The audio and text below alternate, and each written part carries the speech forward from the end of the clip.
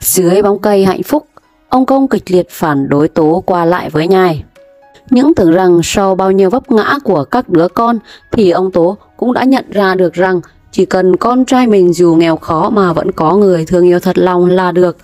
Thế nhưng ông vẫn chưa chịu tỉnh ngộ. Ông làm như con trai của ông báo lắm. Ông hẹn gặp nhài để lại lý luận, phân tích về đời cho cô nghe, lại còn chê cô và kịch liệt phản đối không cho Tố và nhài thường xuyên qua lại với nhau. Ông nói rằng Tố nhà chúng tôi tuy hơi già một chút, tuy có một chút nghèo, nhưng nó là một đứa chăm chỉ, hiền lành chịu khó, thì tương lai cũng không thể khó khăn mãi như thế được. Tôi sợ cuộc sống không tốt đẹp gì của chị, rồi với tính cách của cỡ chị thì sau này về chị cưỡi đầu cưỡi cổ nó mất, nó lại không có cuộc sống yên ổn như hai thằng kia, thì tôi cũng mệt mỏi lắm.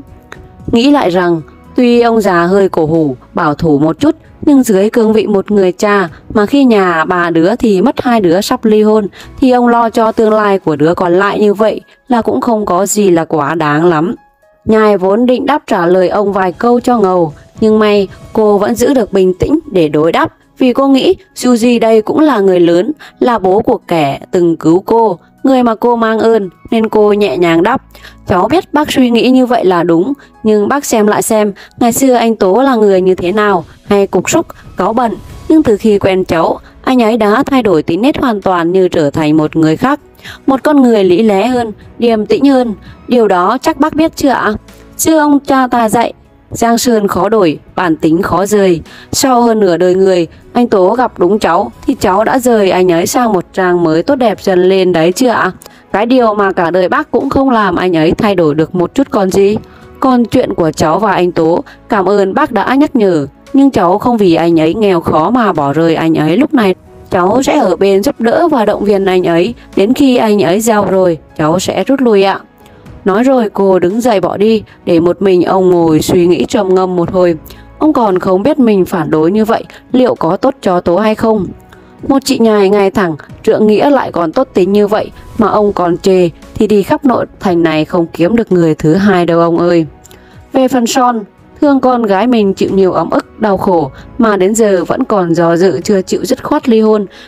Nên ông bố đã tìm gặp Đạt, nói chuyện với Đạt như hai người bạn với nhau. Đạt cũng thổ lộ với bố vợ rằng anh chưa bao giờ có ý định sẽ ly hôn Son, nhưng như tình cảnh hiện giờ thì cho dù Son muốn thế nào, anh cũng sẽ tôn trọng sự lựa chọn của cô ấy. Nghe được những lời như vậy từ Đạt thì ông cũng yên tâm phần nào rồi.